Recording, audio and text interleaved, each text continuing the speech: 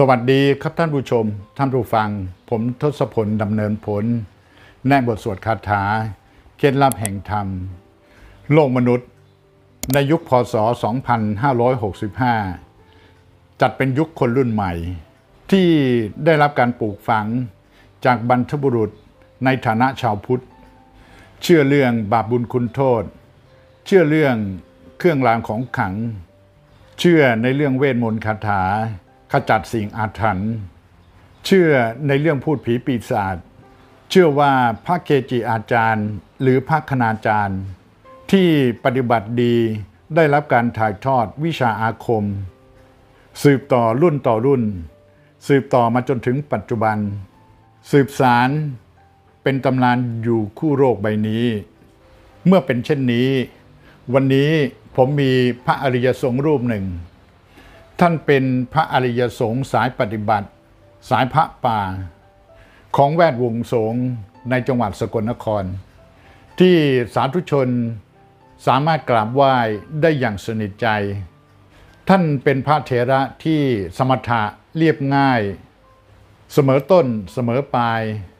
เป็นพระเกจิอาจารย์ที่มีวิทยาคมเข้มขลัง ได้รับความเลื่อมใสศรัทธา อยู่ในยุคปัจจุบันรูปหนึ่ง ที่จะแนะนำให้กับท่านผู้ชม ท่านผู้ฟังได้รู้จักท่าน ผู้ที่รู้จักท่านมาบ้างแล้ว ก็จะได้รู้จักท่านมากขึ้น และเพื่อเผยแผ่บารมีขององค์ท่าน ให้กับสาธุชนทั่วไปได้รู้จักท่านมากขึ้น พระอริยสงฆ์พระเถระ พระเกจิอาจารย์ พระเดชพระคุณ รูปที่จะแนะนำให้กับรู้จักท่านคือหลวงปู่ผอง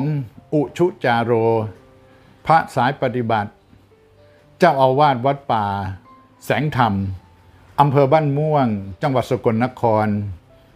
สิริอายุครบ 89 ปีพรรษาที่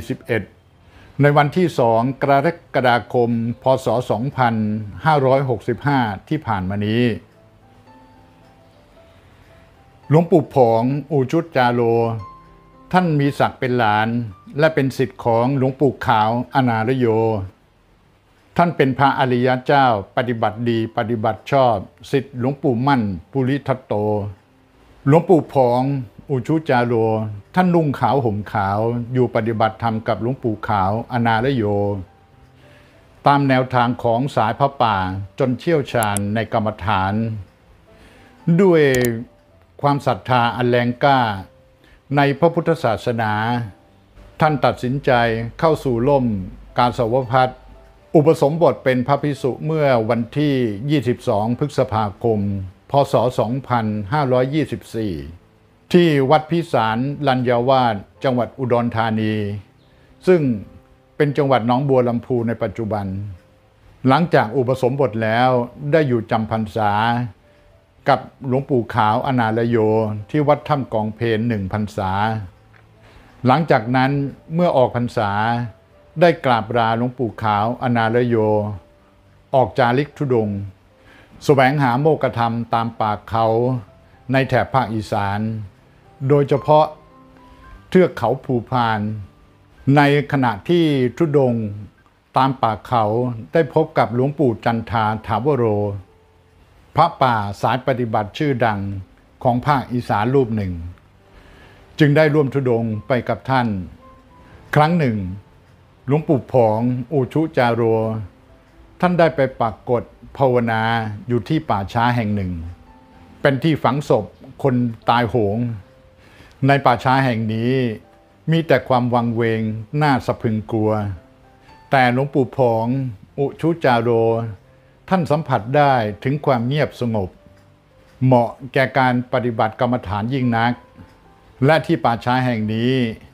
หลวงปู่ผองได้พบกับหลวงปู่ลีถาวโร พระกรรมฐานสายหลวงปู่มั่นภูริทัตโต เกิดความศรัทธาได้ฝากตัวเป็นศิษย์หลวงปู่ลีถาวโรจึงถือเป็นครูบาอาจารย์อีกรูปหนึ่งของท่าน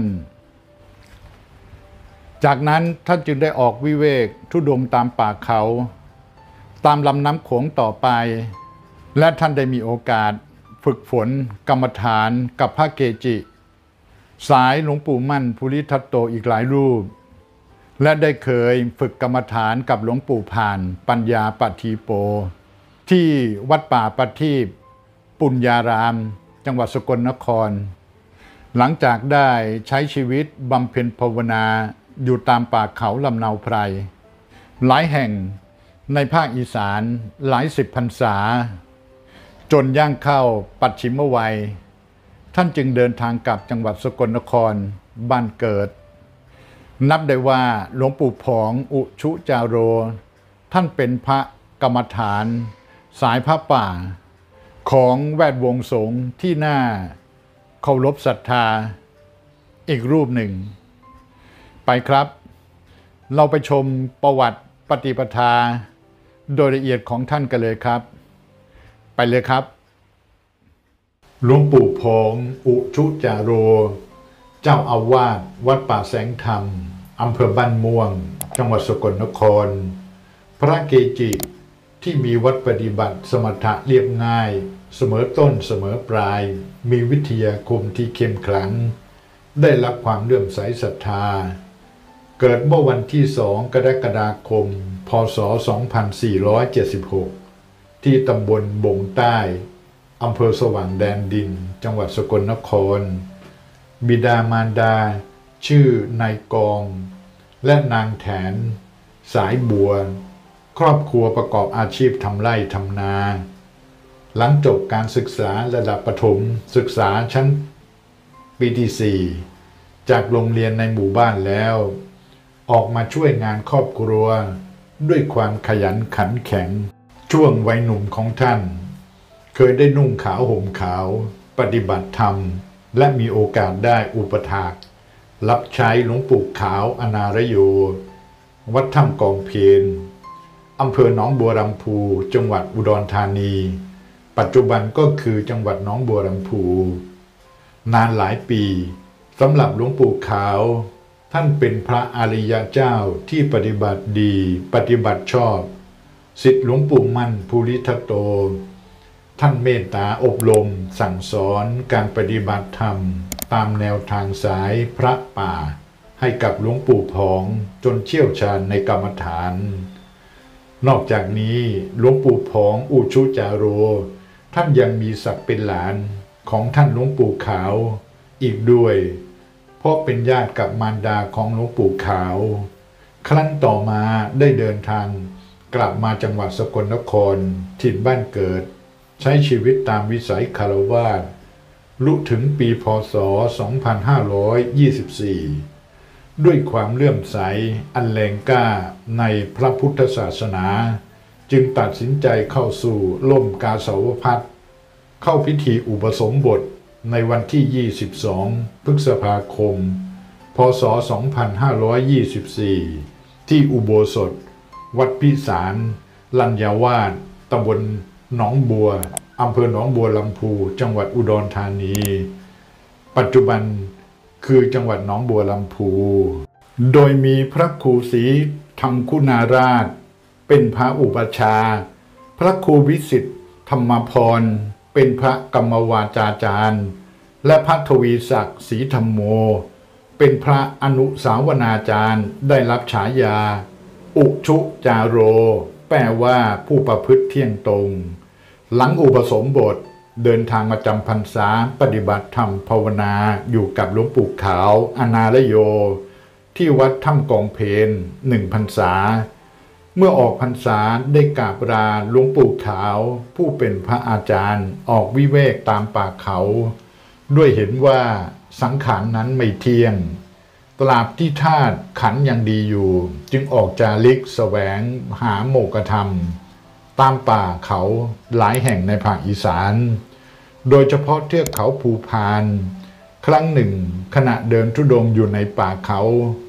มีโอกาสพบกับหลวงปู่จันทาถาวโร พระป่าสายปฏิบัติชื่อดังของภาคอีสานอีกรูปหนึ่ง จึงได้ร่วมทุดงเดินเท้าเปล่าจนถึงอำเภอนานจรวย จังหวัดอุบลราชธานี ครั้งนั้นได้ปักกฎภาวนากันที่ป่าช้า ซึ่งเป็นที่ฝังศพคนตายโหง บรรยากาศภายในป่าช้าแห่งนี้ มีแต่ความวังเวง น่าสะพึงกลัว แต่สิ่งหนึ่งที่หลวงปู่ผองสัมผัสได้คือความเงียบสงบ เงียบเหมาะแก่การปฏิบัติกรรมฐานยิ่งนัก ขณะปรากฏอยู่ในป่าช้าแห่งนี้ ได้พบกับหลวงปู่ลี ถาวโร พระกรรมฐานสายหลวงปู่มั่น ภูริทัตโต จึงเกิดความศรัทธาได้กราบขอคำชี้แนะ กรรมฐานกับหลวงปู่ลี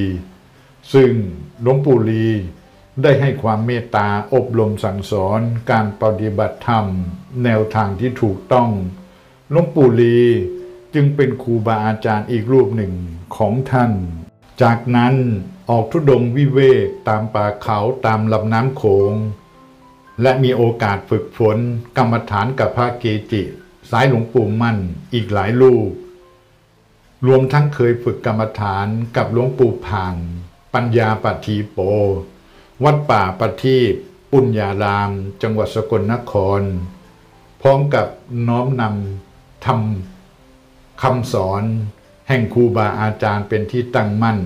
การภาวนาครองตนด้วยความสมถะเรียบง่าย เจริญกรรมฐานทั้งเช้าและเย็น หลังจากใช้ชีวิตบำเพ็ญภาวนาอยู่ตามป่าเขาลำเนาไพร หลายแห่งในภาคอีสาน นานหลายสิบพรรษา จนย่างเข้าปัจฉิมวัย จึงเดินทางกลับจังหวัดสกลนครบันเกิด ด้วยวัดปฏิบัติดี